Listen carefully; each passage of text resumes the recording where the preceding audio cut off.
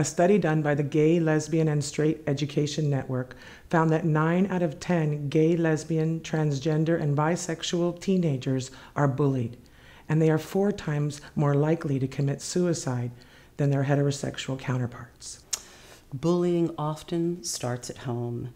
We are downloaded in belief systems that being gay is immoral, it's out of God, it's distant from God. We are taught that it is basically wrong, and it really does come from fear. Fear becomes so strong, it could actually influence many of our teenagers to commit suicide. We're not all raised with the same beliefs.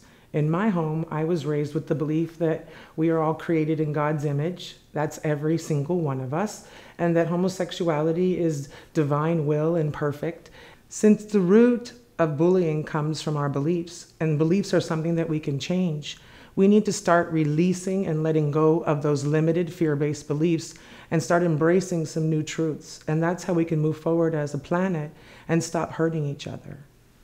And honoring the diversity. The diversity is everywhere, and the diversity is what makes us grow.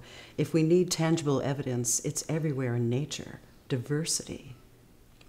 We are spiritual sexual beings, and where our personal power lies is within that comfortableness and being able to be empowered by who we are and have no shame. And that is why religion uh, at one time set it up to take our power from us by diminishing our light, by having us feel unworthy and shameful and take sex out of the experience of just creating an intimate relationship between two beings, being able to experience each other intimately.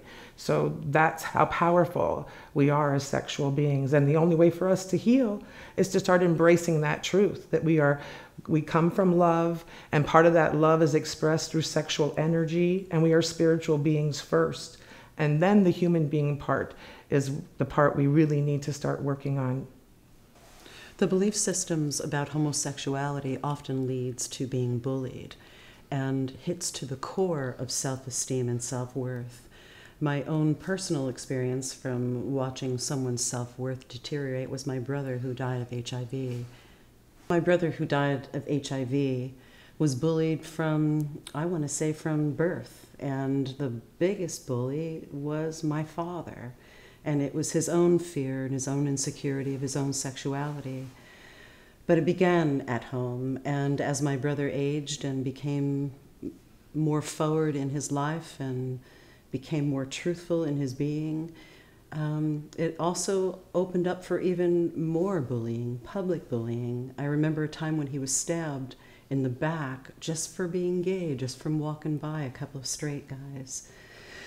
Um, bullying destroys self-esteem. It just it'll if you have it, it wipes it right out. We have no idea, no idea the depth of what we do when we take someone's spirit down by bullying. What this is all about is an evolution in consciousness. When Agnes's brother was being raised, it was all about avoidance. My understanding of avoidance is it leads to isolation. And Isolation is how we torture prisoners. Isolation. That's what we're doing. We're doing that to the people we love, the people that are of us, our family members. Isolation is what we're doing.